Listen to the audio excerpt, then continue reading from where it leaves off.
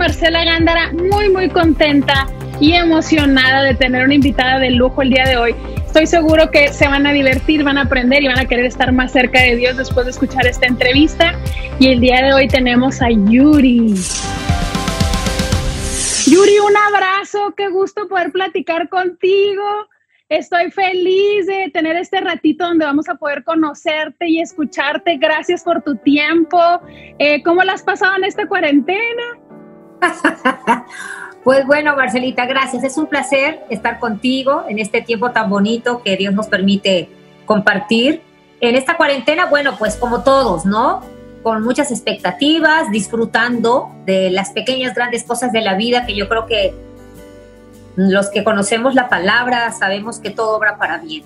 Y definitivamente quiero que sepas que hace muchos años no me tomaba este, este tiempo para, para tener pues esa calidad eh, de, de, vida con mi familia, con mi esposo, mi hija, aunque siempre, siempre le he dado tiempo y siempre mi prioridad es primero Dios, después mi familia y después mi carrera.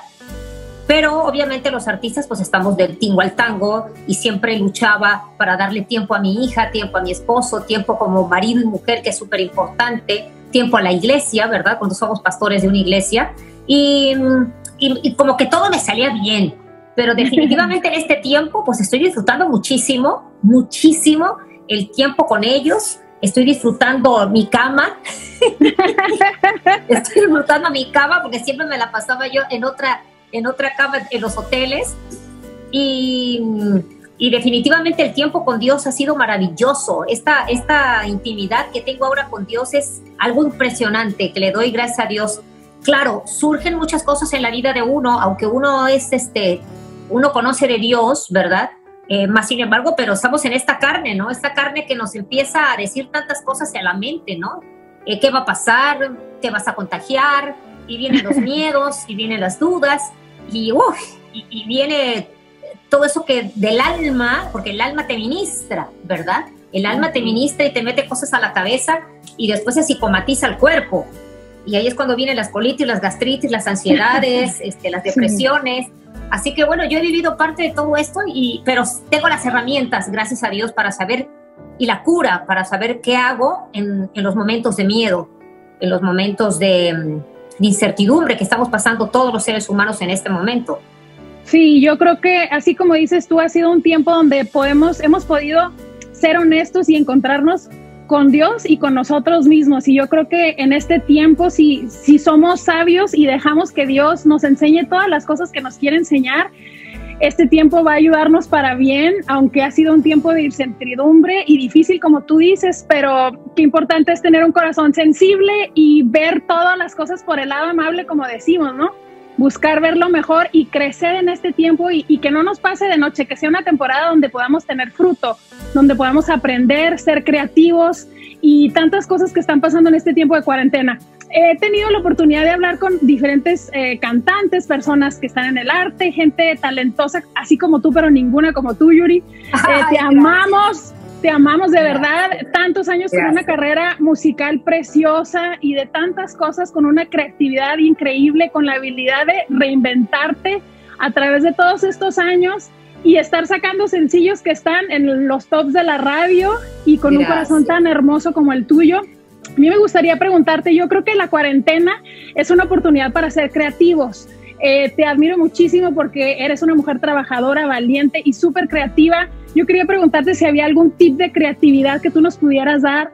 ¿Cuál es la salsa secreta que hace que, que todo lo que tengas tenga éxito? Sabemos que es Dios, pero yo creo que en este tiempo Dios nos está llevando a aprovechar las oportunidades que tenemos y a ser creativos. Pues mira, yo siempre pienso, desde que desde que yo era niña tengo la disciplina del ballet. El ballet clásico siempre es una disciplina que si no te pones las puntas como debe de ser, si no tienes tus dos horas diarias, si no te paras de una manera, eh, si no cuidas tu alimentación, esa es la disciplina. Por ahí empecé, por ahí empecé desde muy chiquitita. Yo empecé a los 5 o 6 años a bailar ballet. A los 11 mm. años tuve una beca para el ballet Bolshoi en Rusia porque yo era muy mal estudiante. Y mi mm. mamá me dijo, ok, yo sé que tú no vas a estudiar, yo sé que tú eres muy burra, ¿qué quieres ser? No, pues yo quiero ser una gran bailarina. Y yo me dijo, ok, pero sé la mejor o una de las mejores. Gané un festival a nivel nacional en, aquí en México, el, el, premio era una beca para el Ballet de Bellas Artes y una beca para el Ballet Bolshoi en Rusia. Ustedes saben que el Ballet Bolshoi en Rusia es el mejor ballet del mundo. Y dije, el Bolshoi. Yo tenía 11 años y lo gané. Lo gané a duras penas eh, porque obviamente mi, era un padedeo, era, yo bailaba con mi maestro de baile, se enfermó una semana antes, yo tuve que montar mi coreografía sola, se me infectaron las uñas porque la bailarina tiene que hacerse un pedicure, así como el cantante nos cuidamos la garganta, la bailarina tiene que cuidarse los pies cada 15 días, hacerse su pedicure, porque como siempre se hace en punta, se te infectan, se te encarnan las uñas y te, se te infecta y no puedes bailar. Mas, sin embargo, todo eso yo viví y gané el festival. Wow. Entonces, desde ahí yo traigo esa disciplina. Obviamente pasa el tiempo, mi mamá siempre me decía, hija, tú siempre haz las cosas con pasión, nunca pierdas la pasión. Y toda la vida he hecho las cosas con pasión, Marcela. Cuando conozco a Cristo hace 25 años ya, obviamente esa pasión se transforma en agradarlo a Él. Porque empieza uno a entender que los talentos que Él te ha dado, los tienes que poner en práctica, en práctica para cosas positivas. Puede ser para la iglesia, puede ser para tu carrera, puede ser para tu familia em, y sobre todo cuando eres como somos, cuando somos gente que, que estamos en el ambiente artístico. Y de ahí entendí que todo lo que tenía que hacer, lo tenía que hacer para él, con excelencia, porque se tiene por ahí, se dice que, que cuando eres cristiano, cuando estás cerca de Dios, este, tú sabes, ya la cosa cambia, las cosas ya no son con excelencia, que la gente que no tienen a Dios y que en el mundo artístico hacen las cosas que, que... Eso no es verdad, eso no es verdad. Tú puedes estar en cualquier lado y hacer las cosas, ¿verdad? En cualquier equipo, vamos a llamarlo así, y hacer las cosas con excelencia para Dios. Entonces, cada cosa que yo hago, estoy pensando cómo agradarlo. Porque también hay otras cosas que digo, no, esto no, esto ya no puedo, ya, ya no, o sea, si yo digo que soy una mujer que tengo a Dios, tengo una hija, tengo una familia, no, no puedo hacer esto porque eso no le agrada a Dios. Estas cosas no le agradan a Dios. Y a veces me equivoco porque no somos perfectos, ¿no? Estamos en ese crecimiento, esa, esa, esa perfección y a esa, esa igualdad de parecernos a Jesús, ¿no? Pero, pero definitivamente cada cosa que yo hago, Marcelo, lo hago para agradarle a Él, y fíjate que automáticamente cuando tú le agradas a Él y haces las cosas para Él, automáticamente Él te premia y la gente lo recibe de otra manera. Porque normalmente y en la actualidad tenemos tanta baja estima, Marcela, y hay tanta gente, hasta en, el, hasta nuestro, nuestro ambiente cristiano, hay tanto cristiano que quiere hasta en la iglesia cantar mejor, estar adelante, ser shekina y cantar y la la la y, y hello, yo soy el maestro. Yo, y no quieren agradarle a Dios, quieren levantar su carne, porque la carne es así, la carne busca lo suyo, ¿verdad? Entonces, yo entendía que cuando yo quería agradarle al público, nunca tenía la respuesta que yo quería, porque la Biblia lo dice, ¿verdad? Que nunca le vas a dar gusto a nadie. Y si tú le quieres dar gusto a la gente, vas a quedar mal con Dios. Y eso me costó mucho trabajo entenderlo, y todavía me cuesta pero lo pongo en práctica, lo pongo en práctica y me sale bien. Entonces muchos de mis fans me dicen, ¿y por qué todo te sale bien? ¿Cuál es el secreto? Bueno, primeramente porque lo hago para él, porque me gusta hacer las cosas para él, que él se agrade de los talentos que él me ha dado. Y dos, la excelencia. Yo pienso que para Dios, si para el mundo, eh, eh, cuando estamos en la escuela, cuando estamos en nuestro trabajo, hacemos las cosas bien, pues imagínate para Dios, uno tiene que hacerlo o sea, con excelencia, lo más bonito, lo más perfecto, lo más digno para él, ¿no? Y eso es lo que yo he aprendido en esos 25 años. Wow, Yuri, qué increíble, de verdad. Yo creo que eso eh, se dice fácil, pero tener una trayectoria así como la que tú tienes, te admiramos y admiramos lo que Dios está haciendo a través de ti y la carrera tan hermosa que, que ha permanecido hasta el día de hoy. Y algo que se me hace bien interesante es, es ser humildes para poder aprender y reinventarse. En esta temporada hay mucha gente que platicábamos, a veces ha perdido su trabajo, pero a veces Dios cierra una puerta y abre otras puertas. ¿Qué tan importante crees tú que es reinventarse, sin perder la esencia que cada quien tiene, pero reinventarse y estar atento a las oportunidades que se presentan en la vida? ¿Qué tan importante ha sido esto para ti? Sí, yo pienso que, que cuando tú estás en, en, en, en conexión con Dios, yo siempre pienso que yo me siento como un avatar. Yo, ¿se acuerdan de la película Avatar? Que ellos se tenían que conectar al árbol de la vida y ahí se recargaban. y ellos no eran igual si no se, se metían con su espiritualidad de la película, ¿no? Que era el árbol de la vida y se conectaban. Así yo me siento un avatar. Si yo no me conecto con Dios, yo como que no, no, no, mi día no es igual. Mi día no es igual ni como mamá, ni como esposa, ni como creativa, ni como sierva de Dios, ni como artista. Cuando yo me conecto, vienen todas esas cosas, porque también siento que a veces es un don. Yo creo que Dios me ha dado ese don, el don de la creatividad. Y entonces digo, bueno, a ver, ¿cómo puedo hacer esto diciéndolo de esta manera sin que, sin que ofenda? ¿O cómo puedo hacer este show que sea digno de una cristiana, pero sin ofender a Dios? ¿Hasta dónde son mis límites? Y automáticamente cuando tú te conectas con el Señor, el Espíritu Santo es el como que el guiador. Esto sí, no, no, esto ya no, esto te estás pasando, e, esto, esto, esto no, no le agrada a Dios, esto quítalo, esto, y así estoy. Entonces yo siempre tengo que estar conectada, conectada a Él, porque es muy difícil ser esposa de un pastor, ser cristiana y ser artista. Oh, muy difícil, muy difícil, porque tienes que quedar bien con el cristiano, tienes que quedar bien con el mundo y tienes que quedar mucho mejor con Dios. Entonces, yo eso me, me quito las dos cosas que están abajo, que es cristiano y mundo, y digo, Señor, tú guíame, tú guíame y dime para hacer las cosas, para tener esa, esa, esa imaginación, esa creatividad de cómo puedo decir mi prédica o cómo puedo decir algunas palabras espirituales en un show secular sin caer a lo religioso Cómo hablarle al religioso, cómo hablarle al cristiano y cómo no hablarle al cristiano. Automáticamente Dios te da esa sabiduría porque eso viene de Él, ¿verdad? Eso viene de Él. Claro. Yuri, eres única y por eso te amamos y disfrutamos ver tu trabajo y lo que tú eres y cómo floreces en cada cosa que haces. Podemos ver la mano de Dios en tu vida y eso es súper lindo. Eh, has dado un talento único. No, no hay nadie que haga lo que tú haces y te amamos. Gracias, em, Marcelita, qué linda, amada, gracias. Y Yuri, Hay, un, hay una frase que a mí me encanta que dice, acérquense a Dios y Dios se acercará a ustedes. Yo no sé tú, pero yo me puedo acordar el momento en el que más que una idea en mi mente, yo pude entender el amor de Dios en mi corazón y reconciliarme con Dios. Yo me acuerdo tener rencor en mi corazón por cosas, circunstancias que yo estaba pasando y decir, Dios, sí es cierto todo lo que yo he vivido, ¿por qué estoy pasando por esto? y de ahí, de oraciones honestas, empezar a, a tener un encuentro con Dios de una manera más real. Y yo quería preguntarte a ti, ¿cómo fue? Sé que es una historia larga, pero ¿cómo fue ese momento donde tú te reconciliaste con Dios? Bueno, fue entre la vida y la muerte. A veces Dios nos encuentra entre la vida y la muerte. Hay mucha gente que no, no, vive eso, vive otras cosas, otros procesos, pero sí yo estaba en el momento de mi, del suicidio, a donde yo ahí clamé y escuché la voz de Dios. Escuché la voz de Dios donde me dijo, si tú te mueres, si tú te matas, mucha gente piensa que al suicidarse van conmigo. Y no. Y eso va para mucha gente que en este momento tiene depresión. Para mucha gente que en este momento se quiere morir o se quiere matar o quiere suicidarse porque no le están saliendo las cosas bien y por la situación o porque han perdido a muchos familiares o a alguien muy especial. Quiero que sepan que eso es una mentira, vi, no sé de dónde lo sacaron, que si tú te quitas la vida vas a estar mejor, en un lugar mejor. Eso es mentira.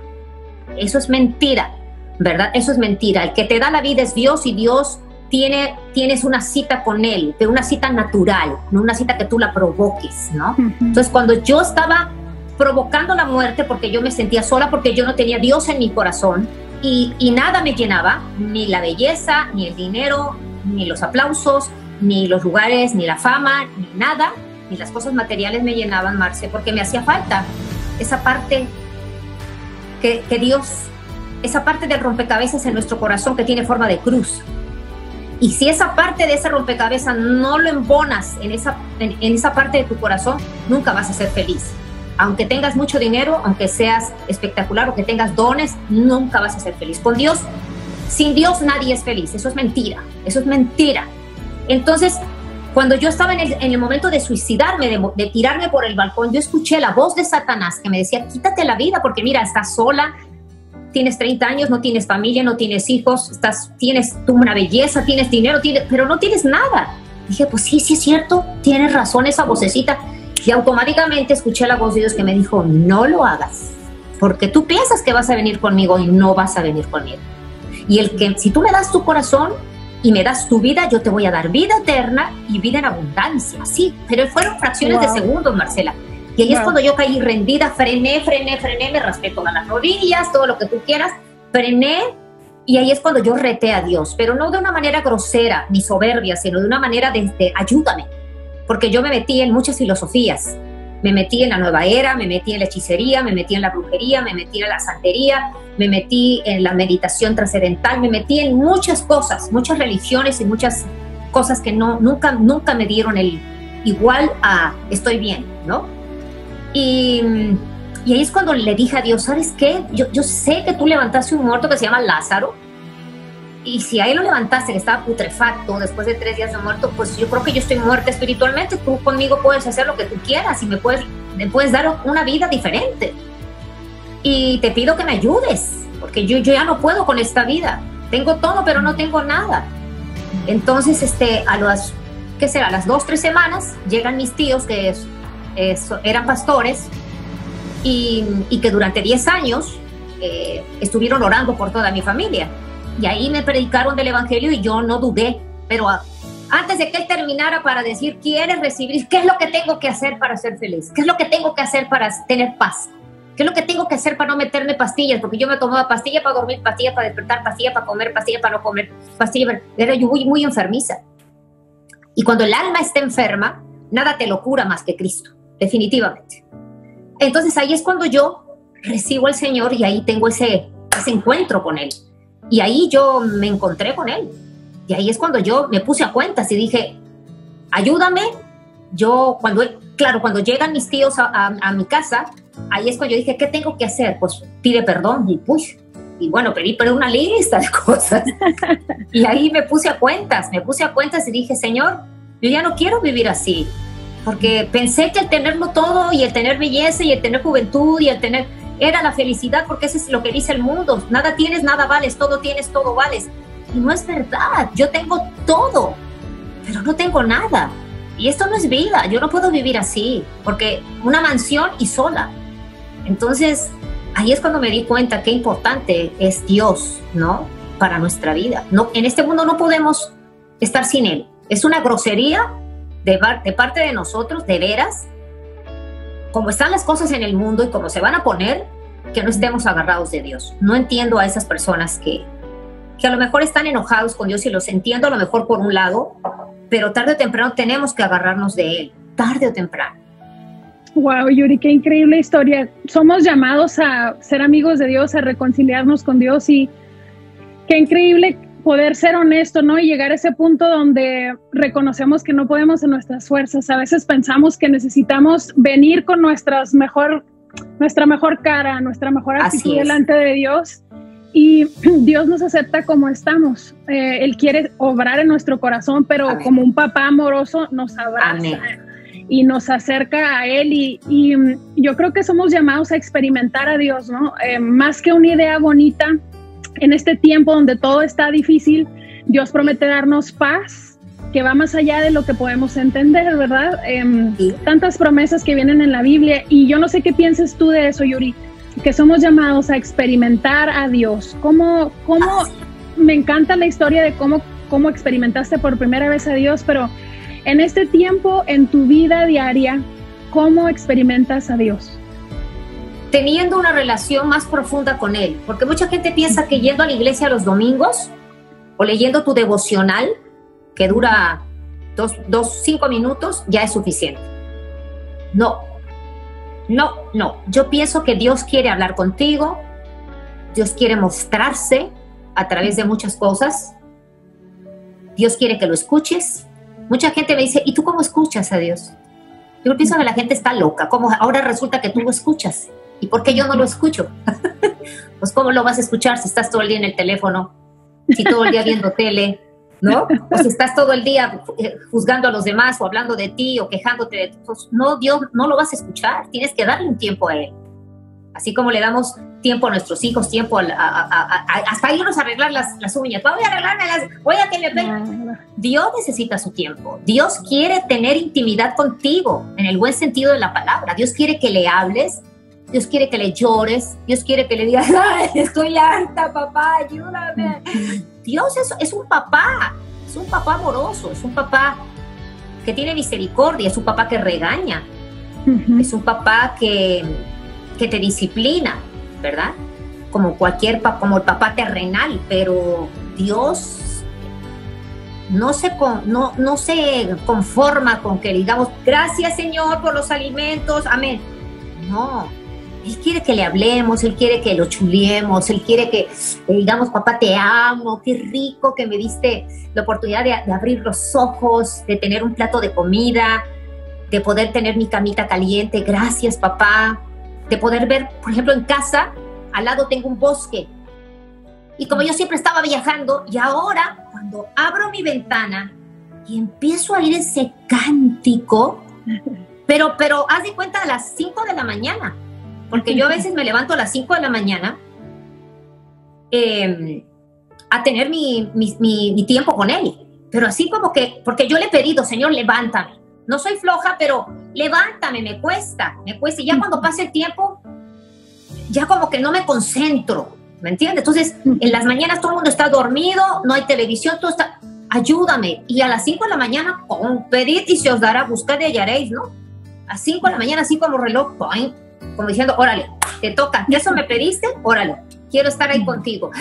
Y empiezo a escuchar el cántico, dice, todo su creación alaba al Señor. Y yo digo, wow, la creación, los animalitos que son menos que nosotros, nosotros somos más arriba de la creación, de los animalitos, ya le están alabando. Ya desde, desde que antes que amanezca, salga el sol, ya está como calabando a su Señor. Y yo digo, qué cosa tan... Y después abro mi balcón y es un cántico, pero cántico que digo, ¡oh! Pero Señor, ¿esto desde cuándo está? Y el Señor me dice, siempre he estado. Lo que pasa es que nunca te has parado a escucharme, ¿no? Porque eso es mi creación, soy yo también. Ve el mar, ahí estoy yo. Ve el cielo, ahí estoy yo. Ve a un animalito cómo le da de comer a su bebé y dices, ahí está Dios. En todo, Dios está en todos lados, ¿no? Entonces, he podido experimentar una intimidad con Dios mucho más profunda. He podido a veces hasta oler. Quiero que sepas que cuando estaba yo en mi proceso de la muerte de mi madre, porque Dios me procesó a través de muertes, y Dios procesa como Él quiere, y todo lo malo lo ocupa para bien. Entonces tuve una, una, una persona muy allegada a mí que falleció en un accidente. Después al año, mi hermano falleció en un accidente, lo atropellaron, de 51 años. A los dos años, mi madre muere de una muerte súbita, así como ella quería morir. No le dolió nada y pum, se desmayó y así se fue como pajarito, como ella quería. Y yo le decía a Dios, oye Señor, ya te las traes conmigo, de veras, dame chance, o sea, apenas me estoy recuperando de uno y me das el racatazo. Y espérame, y con mi mamá me dio, nunca había tenido ansiedad, nunca. Me daban taquicardias a los aviones. Yo decía, ¿por qué me dan taquicardia y no podía respirar? disnea. No podía respirar. ¿Qué es esto? ¿Por qué estoy así? Si yo soy una mujer feliz, nunca he vivido. Hasta que fui a un doctor y me dijo, no, usted lo que tiene es ansiedad. ¿Y eso qué es? Pues esto es por la pérdida. Perdió, oh, sí, perdí a mi mamá hace tantos meses. Ah, pues eso es. Y me venían muchas depresiones, muchas depresiones. Que yo no soy depresiva. Mis depresiones me duran una hora. Vámonos, yo soy bien positiva, vamos, y soy colérica. Vamos, a mí eso no me bota. Uh, uh, uh. Y quiero que sepas que me fui cerca de la casa de Miami. Hay un rancho a donde alquilan caballos y ponis. Mi esposo le alquiló un pony a Camila, estaba más chiquita, y, se quedó con ella. Y había otro, otro como paseo con 10 personas en caballo y había al frente una, persona que nos iba indicando, ¿verdad? Por dónde caminar y era un rancho precioso que pasábamos bosques y llanos, una cosa espectacular. Pero a mí se me olvidó mi bolsa a donde yo traía mis pastillas para quitarme la ansiedad y a mitad del camino me entra la ansiedad. Y yo era la última de la fila. Y dije, Señor, me siento mal, me, pues, me voy a desmayar, nadie me va a ver aquí. Y empecé a orar, empecé a orar, Señor, ayúdame. Señor, ayúdame. Tú dices que tú eres más que una medicina, Señor. Yo no puedo estar todo el día empepada y enmedicinada. Y quiero que sepas, Marcela, que empecé a orar, empecé a orar, empecé a orar y empecé a hablar con él, así, papá, tú estás conmigo, tú estás aquí arriba del caballo conmigo. Ayúdame, Señor, dame paz, dame paz. En nombre de Jesús, toda ansiedad se va, toda depresión se va ahora. Tú me has dado la autoridad y yo sé las herramientas para decirle a estos espíritus que se vayan. En el nombre de Jesús. Tú tienes, yo tengo la autoridad de parte tuya, Señor, a través de la sangre de Jesucristo. Y entonces quiero que sepas que se me empezó a bajar la ansiedad, a bajar, a bajar, a bajar yo dije, ay papá, gracias, tú sabes, gracias. Y lo empecé a adorar, gracias papá. Iba yo en el caballo y yo levantaba las manos y me decía la, la mujer, decía, ¿Are you okay? ¿Are you okay? I'm fine, I'm fine, I'm fine, ¿Are you okay? Y yo levantaba mis manos así en el caballo. Y el tipo, la tipa me volteaba a ver diciendo, esta vieja está loca. Y yo cerraba los ojos. Y dice, ay, no, tengo que, tengo que abrirlos porque si no me voy para otro lado. Yo estaba lavando al Señor. Pasamos por un bosque y en medio del bosque, óyete esto, amada, empiezo a oler a un perfume. Empiezo a oler. Que, wow, mi, perfume favorito son las gardenias. Ayer le compré a un hombre, mira, gardenias. ¡Ay, qué bonitas! En un alto. Le compré gardenias, le compré 10 gardenias. Es mi flor favorita. Cuando tú fuiste a mi boda, yo puse olor de gardenia, ¿te acuerdas? Hermoso. hermoso. Sí. Entonces, Amada empezó a oler a gardenias y yo dije, espérate, primero, primero, primero lo terrenal. Y yo llamo a la señorita, por favor, venga, y allá viene. Are you okay? Yo hablo muy poco inglés. Y ya como en mi inglés, speaking English, le dije, oiga, aquí hay, en este bosque hay flores. Y se queda, ¿what? que si hay flores. Y se ve, dice, ¿cuáles flores? Aquí no hay flores, son pinos. Ah, ok. No huele, usted no huele como, como a gardenia, como a flor. ¿Are you okay? y yo volvía, ¿está usted bien? Mm. Y yo escucho que el Espíritu Santo me dice, no, esto yo te lo estoy dando a ti como aroma fragante para que tú disfrutes y darte este regalo de parte mía, porque sé que esto te va a demostrar que yo estoy contigo y que no te suelto en ningún momento, porque esas son las flores que a ti te gustan y el olor que a ti te gusta. Y solamente yo te lo puedo, yo puedo hacer esto. Huele. Bueno, imagínate que cuando yo llegué, mi marido me vio de lejos y cuando me acerqué me dice, ¿te tomaste la pastilla? yo le digo, ¿por qué? Me dice, traes una cara de paz. Traes una cara que, ¿qué te pasó? Dije, ay, sí, yo te, ahorita te voy a contar lo que me pasó. Dice, parece que traes la pastilla, traes como relajada, como tu cara con una paz. ¡Wow! Dice, hace mucho tiempo que no te veía así. Le dije, sí, tuve un encuentro con mi Señor en el camino. Entonces, Marcela, de veras que empiezas a vivir en lo sobrenatural. Yo le tengo mucho miedo a los aviones. En época de lluvia yo casi no, no viajo. Y por mi trabajo pues tengo que viajar. Entonces, cuando a veces salimos temprano y a veces hay tormentas, siempre yo me pego a la ventana y digo, Señor, Padre, te pido, Padre, manifiéstate, porque yo sé que tú estás aquí, pero a veces queremos ver. Yo sé que lo tuyo no es ver, no es por vista, es por fe pero papá, tú, tú me conoces. Y automáticamente salen arcoíris, arcoíris. Y no se mueve el avión. El avión hace pum, pum, pum, pasa las nubes y no pasó nada. Entonces yo empiezo a llorar. Y yo empiezo así, gracias papá. Gracias porque me consientes, gracias porque me hablas, gracias porque siempre tienes una palabra a través del espíritu, a través de una película, a través de una persona, a través de tu creación empiezas a vivir en lo sobrenatural. Eso es estar cerca de Él, eso es estar conectado con Él. Y empiezas a hablar como Él, a vivir como Él, a sentir como Él, a amar como Él, a perdonar como Él. De verdad que a veces nos perdemos ese tiempo tan maravilloso de, de sentirlo, porque Dios está, Dios existe, es real. Dios no es como la gente lo pinta. Y a veces me entristezco tanto cuando también entiendo y tengo, me entra esa misericordia a través del Espíritu Santo de entender a tanta gente que odia a Dios o que se pelean con Dios o que no creen en Dios, porque no sabemos su infancia, qué vivieron, ¿no? No ha habido el perdón, no ha habido, no ha habido ese, e, e, ese acto de amor cuando entra Dios en ti, ya empiezas a hacer algo diferente, porque no nada más es creer, sino decirle, ¿verdad? Yo estoy a la puerta y toco, ¿no? Dice la palabra. Cuando tú lo dejas entrar, cuando tú lo recibes, el que me recibe, dice la palabra, no el que cree nada más, el que me recibe.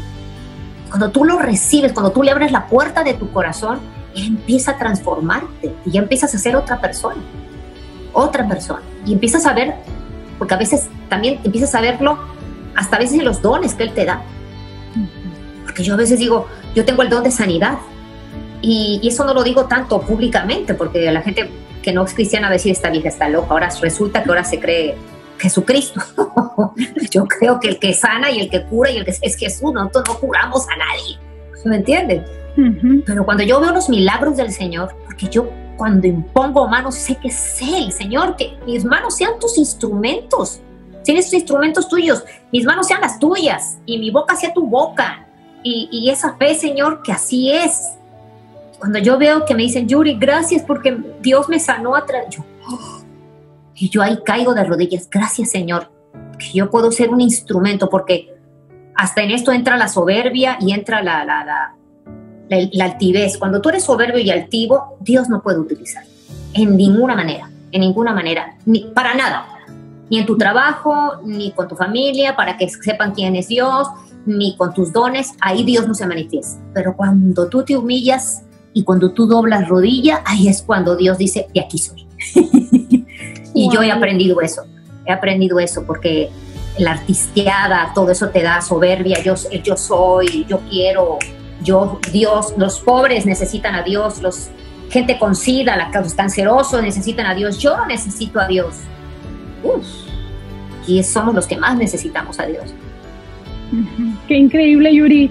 Así como dices tú, un corazón agradecido nos abre los ojos a los detalles que todos los días Dios pone delante de nosotros en el camino para hacernos sentir amados, para darnos fuerzas, para animarnos y darnos una segunda oportunidad. Porque como dices tú, se vale hacerle a Dios preguntas reales, se vale platicar cómo te sientes, ¿no? Mucha gente piensa que tienes que llegar con muchas palabras y obvio es Dios y hay que venir con reverencia, pero Dios busca un corazón sencillo y humilde y honesto, ¿verdad? Dicen que hablar con Claro, dime, dime. Dice que un corazón arrepentido yo no le echo fuera, ¿no? Y eso es real. Cuando tu arrepentimiento es genuino, dices, papá, perdóname, discúlpame, sí, y reconoces, reconoces tu pecado, reconoces el que la regaste, uy, ahí, ahí Dios dice, y aquí soy, aquí estoy. Pero yo sé que a veces necesitamos darnos contra el piso, a veces Dios tiene que tratar nuestro carácter, Dios tiene que tratar con nuestro ego, Dios tiene que tratar con nuestra soberbia, es una de las cosas que Dios aborrece, la soberbia, ¿no? Pero cuando es tratada y tú bajas la cabeza y humillas tu corazón, el Señor dice, de aquí soy, y empieza a sanarte, empieza su trabajo, ¿no? Wow, qué increíble, Yuri. Ah, sí, así como tú dices, dice, yo no rechazo al que venga a mí. Y si tú nos estás viendo, pues se vale decirle a Dios, Dios, no sé, no entiendo todo lo que están hablando, pero yo quiero conocerte y por ahí empezar.